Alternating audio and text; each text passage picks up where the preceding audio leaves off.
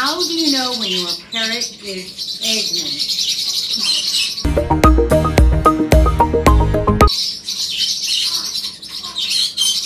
Hi, I'm Kaylin, the author of The Parrot Blonde.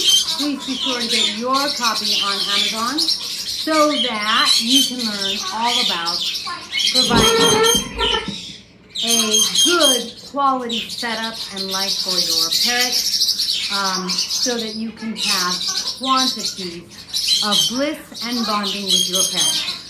In this video, I'm going to show you how you can tell if your parrot is eggnant. This girl is eggnant. And what we're going to do is we're going to look at her bottom.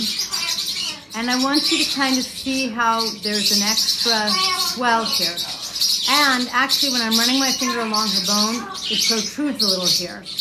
Her vent is also kind of sticking out a little. I don't think, yeah, I don't think you can quite see that, but you can feel it.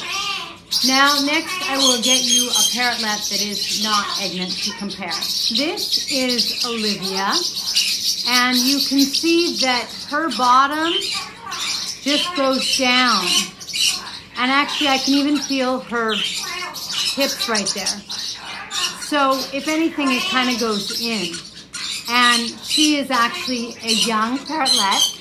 Hi, sweetie. She's only a few months old.